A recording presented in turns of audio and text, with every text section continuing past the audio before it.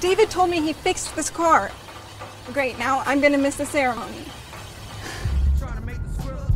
Hey, I think I know things.